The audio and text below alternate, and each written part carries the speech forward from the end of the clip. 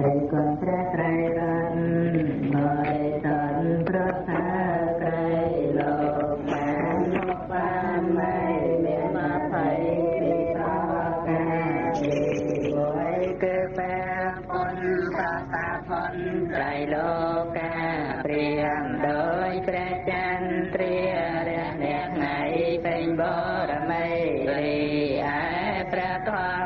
គមន៍មកកាន់ការសិក្សាមេរៀនព្រះអភិធម្មរបស់យើងជាបន្ត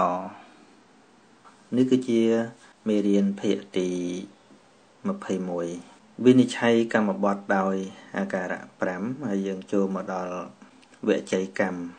ទី1ទី2ទី3ទី1គឺមុសាវាទទី2បិសនាវាទហើយនឹងឥឡូវនេះចូលមកដល់បរសវាទបរសវាទគឺជាពាក្យសម្ដី អាក្រក់តគោះបោះបោកជាបតិចផ្ដាសាដាក់ទំនាយអីសពគ្រប់ហ្នឹង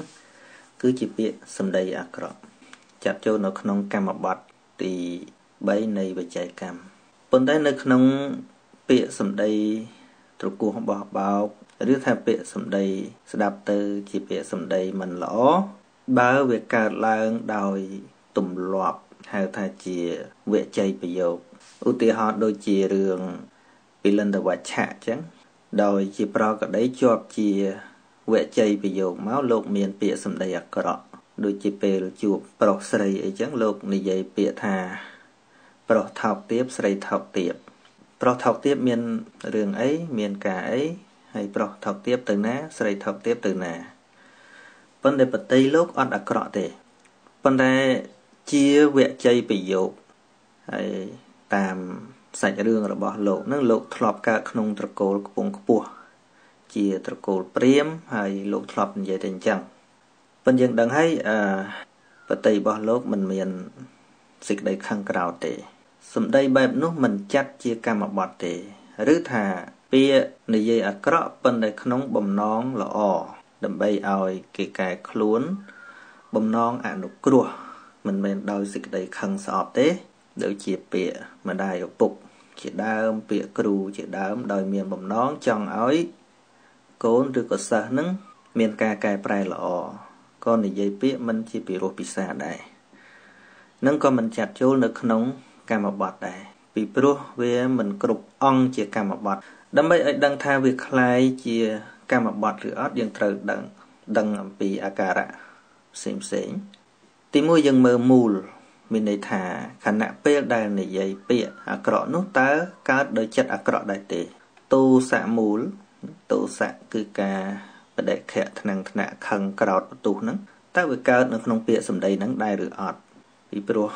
មូលនៃពាក្យសម្ដីអាក្រក់ហ្នឹងគឺទោសៈនឹងឯងជាធំ មានមោហៈនៅជាមួយដែរប៉ុន្តែមោហៈមិនជាបច្ច័យធំក្នុងទីនេះតែជាហេតុដែលចាំបាច់ត្រូវតែមាននៅក្នុងពួកអកុសល ប៉ុន្តែអ្វីដែលចេញទៅជាវជ័យកម្មជាផារសវិតនេះគឺដោយសារមានតោសមូលមានសេចក្តីខឹងក្រោធជាអកុសលចិត្តបានជាចាត់ថាជាជាជាអកុសលកម្មបត្តិបើក្នុងសម្ដីអាក្រក់នោះរត់ទៅវាអត់ឃើញមានតោសៈនៅក្នុងនឹងទេมันមានការខឹងក្រោធទេមិនមែនជាកម្មបត្តិទេព្រោះមនុស្សខ្លះគាត់មានប្រកដីនិយាយមិនសូវព្រោះហើយដោយកម្មជាវិច័យកម្ម ដោយទ្វាសម្រាប់បានពីរទ្វាពីរទ្វាគឺទ្វាកាយហើយនិងទ្វាវាចាទ្វាកាយដូចជាយើងសរសេរសម្បត្តិជេអីជាដើមបានតាយើងខមមិនក្នុង Facebook រាល់ថ្ងៃយើងអត់ទាំងបានលន់មាត់ទេប៉ុន្តែយើងយកដៃយើងយកទៅសរសេរពាក្យជេបចោដាក់តាម Facebook អីជាដើមហ្នឹងហើយការសរសេរជេបចោគ្នាហ្នឹងកើតដោយតោសមូលចិត្តនេះ តោសៈនេះហើយបើតាមវិជ័យទ្វាគឺកើតតាមពាក្យសម្ដីតែម្ដងហើយបើនិយាយពីទោសដូចជាមនុស្សល្អមានទោសច្រើនជាមនុស្សអាក្រក់មានទោសតិចហើយកិលេសនឹងការព្យាយាមខ្លាំងមានទោសច្រើនកិលេសនឹងការព្យាយាមខ្សោយមានទោសតិចដែរនឹងយើងថ្លឹងថ្លែងតាមនឹងអឺពីខាងក្រោមនេះគឺវាពាក់ព័ន្ធនឹងខ្លួនឯងសុទ្ធ កិលេសដែលនៅក្នុងខ្លួនឯងសុទ្ធកិលេសខ្លាំងតោសៈខ្លាំងក្តៅខ្លាំងទៅក្នុងចិត្តយើងបើកិលេសហ្នឹងវាតិចវាក្តៅតិចទៅហើយពីខាងលើវាពាក់ព័ន្ធនឹងបុគ្គលបុគ្គលខ្លះជាបុគ្គលមិនគួរឲ្យយើងជេរទេប៉ុន្តែយើងទៅជេរគាត់ជាមនុស្សល្អសោះយើងទៅជេរហើយមកជេរគាត់នឹងហើយជេរមនុស្សអាក្រក់វាខុសគ្នាមិនពីព្រោះឥទ្ធិពលនៃការជេររបស់យើង វាអាច នាំផលប៉ះពាល់ឧទាហរណ៍ថាមនុស្សនឹងធ្វើអំពើមួយល្អទេ ដល់តែយើងជេរទៅវាធ្វើឲ្យមនុស្សដែលស្ដាប់ឮនឹងចាប់ផ្ដើមសង្ស័យនឹងអំពើរបស់គាត់ស្មានថាគាត់ណាអាក្រក់មែនអញ្ចឹងទៅនាំឲ្យកើតការរាំងស្ទះដល់អំពើល្អដែលគាត់កំពុងធ្វើនោះអាហើយបើជើងជេរមនុស្សអាក្រក់មានទោសតិចមិនបើវាទោសតិចវាជេរដូចតែគ្នា វាមិនបានខូចប្រយោជន៍ទេព្រោះអំពើដែលគាត់ធ្វើហ្នឹងវា តាមពិតមិនបានជាប្រយោជន៍ដល់គេស្រាប់ទៅហើយដូច្នេះហើយបានជាជេរបុគ្គលអាក្រក់ស្រាប់ហ្នឹងវាទោសតិចនឹងប្រៀបទេណាប្រៀបប្រៀបបុគ្គលខាងក្រៅទេឧទាហរណ៍ថាកិលេសនិងការព្យាយាមស្មើគ្នាប៉ុន្តែបុគ្គលដែលយើងជេរនឹងវាមានគុណធម៌ខុសគ្នាអានឹងគេចែកតាមអញ្ចឹងប៉ុន្តែគ្រាន់ថារឿងខាងក្រៅនោះយើងវាលំបាកដឹងថានរណាជាមនុស្សល្អពិតនរណាជាមនុស្សអាក្រក់ពិតណាយើងជេររាល់ថ្ងៃច្រើនតែជេរតាមចិត្តខឹង យើងមិនបានថ្លឹងថ្លែងថាគាត់ល្អឬគាត់អាក្រក់ទេអានឹងចិត្តយើងសាមញ្ញធម្មតារាល់ថ្ងៃហ្នឹងឲ្យទៅជាពិសេសប៉ះពាល់ផលប្រយោជន៍យើងហ្នឹងគឺដឹងតែយើងខឹងយើងជេរនិយាយខុសពីចិត្តយើងដឹងតែយើងខឹងយើងជេរហ្នឹងយើងមានប្របានថ្លឹងថ្លែងអីជួនកាលក៏នៅលឺគេនិយាយមកក៏យើងជេរទៅសិតតែរឿងស្មានខាងក្រៅប៉ុន្តែរឿងដែលគួរតាមដានបានគឺកិលេសក្នុងចិត្តយើងនេះ បើសិនបើវាខឹងក្រោតខ្លាំងព្យាយាមធ្វើក្នុងការជេរនឹងខ្លាំងក៏វាទោសច្រើនចឹងទៅកិលេសតិចក៏ទោសតិចចឹងទៅហើយដើម្បីឲ្យដឹងថាវាសម្រេចទៅជាកម្មបត្តិឬអត់ទៅទៀតនោះ គឺយើងចាំបាច់ត្រូវចេះរឿងអង្គនេះដើម្បីវិនិច្ឆ័យដោយអង្គបរសវិតមានអង្គ3គឺទី1អកោសេតពោបរោ មានអ្នកដតីដែលខ្លួនក៏បីជេអញ្ចឹងដាច់ជាកម្មបត្តិហ្នឹងពាក្យជេហ្នឹងគឺវាទល់តែមានជាបុគ្គលជាបុគ្គលដតី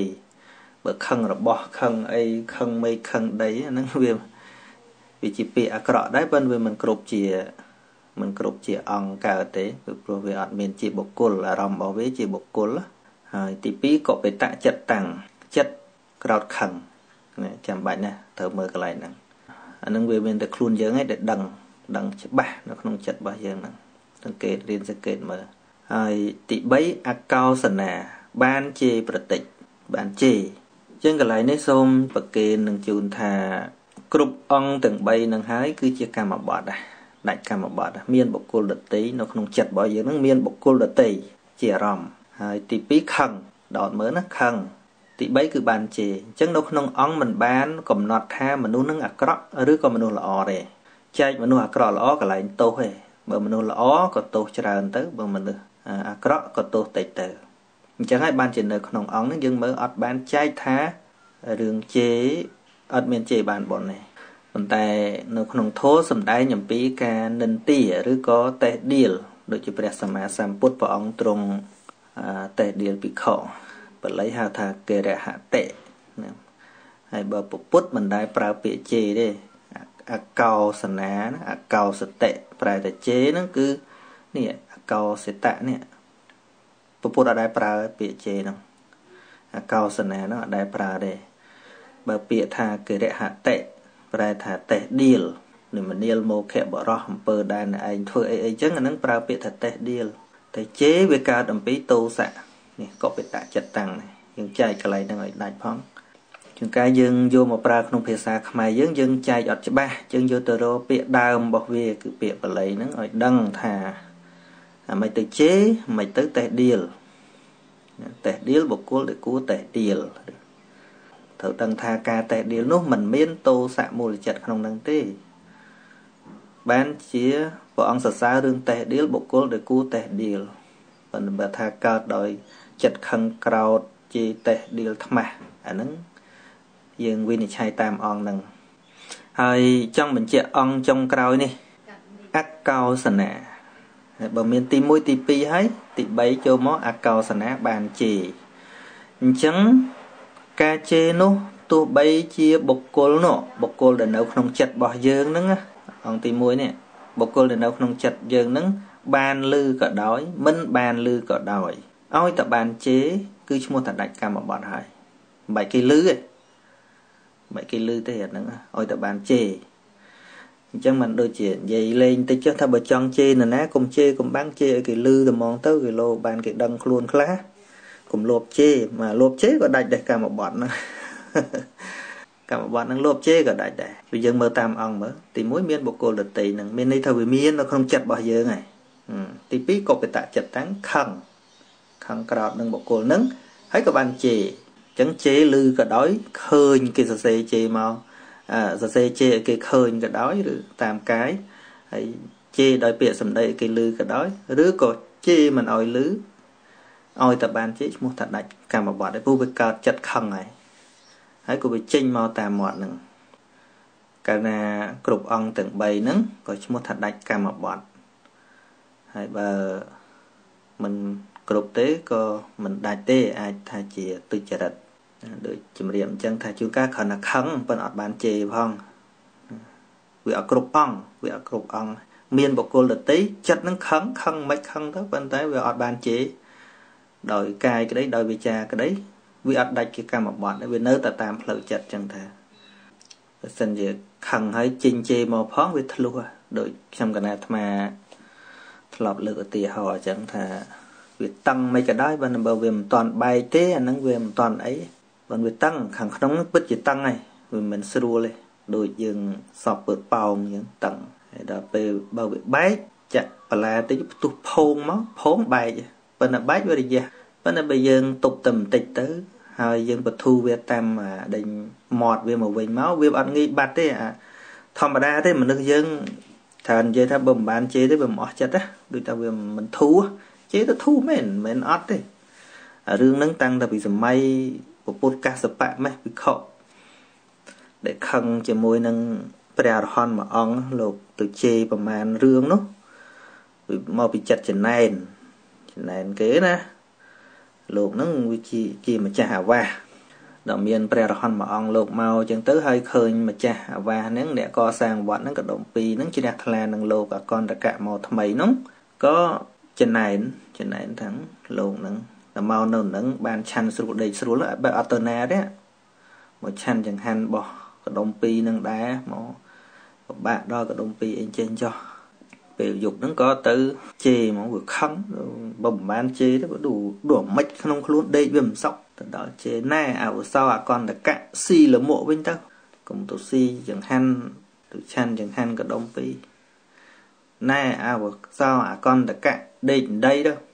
ពេលហ្នឹងវាមិនអាការៈម៉ែនប៉ុន្តែវាកើតពីចិត្តខឹងខឹងខ្លាំងហើយនិយាយទៅហ្នឹងក៏ចាត់ថាជាពាក្យជេរដែរហ្នឹងឲ្យ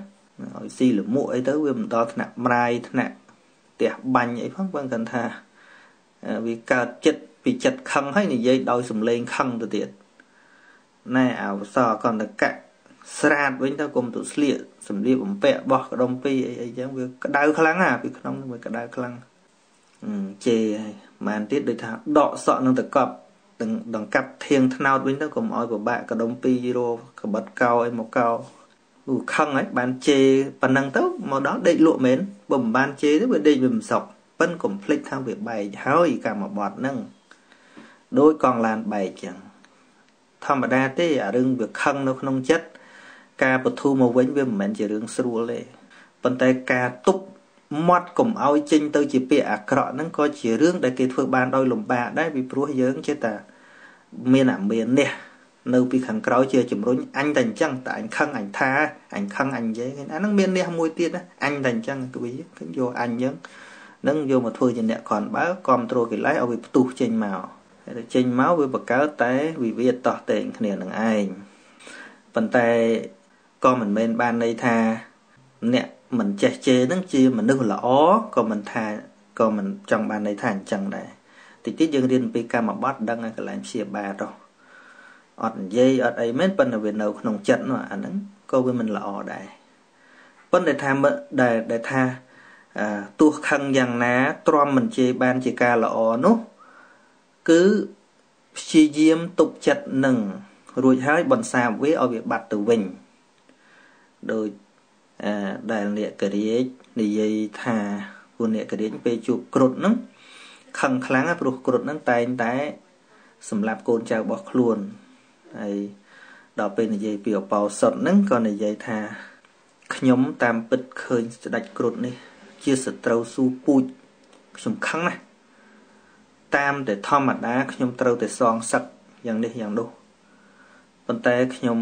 ដោយសារនឹកទៅដល់គុណធម៌ សិលដែលខ្ញុំរក្សាថ្ងៃនេះខ្ញុំមិនត្រឹមតែមិនសងសឹកទេខ្ញុំខំប្រយុទ្ធនឹងខ្លួនឯងគឺខំកំចាត់ចិត្តក្រោតខឹងនឹងឲ្យបាត់ទៅម្ដងបន្តិចម្ដងបន្តិចម្ដងបន្តិចរហូតដល់ចិត្តខឹងនឹងស្ងប់រងាប់ទៅវិញបាន អ្នកប្រាជ្ញទាំងឡាយរមែងសរសើរនៅបុគ្គលអ្នកអាចឈ្នះនៅសេចក្តីក្រោធរបស់ខ្លួនឃើញទេឬក៏ដូចជាវត្តបត់របស់ ដែលមគ្គមាននុ7មានមួយចំណុចថា គឺរមែងញ៉ាំងចិត្តមិនឲ្យក្រោធមិនឲ្យខឹងក៏ប៉ុន្តែបើទោះជាមានចិត្តខឹងកើតហើយ គឺមិនឲ្យវាចេញមកតាមកាយតាមវាចាទេ គឺខំដោះជំរះវាឲ្យអស់ទៅវិញដូចជាភ្លៀងដែលតែងតែលៀងជំរះ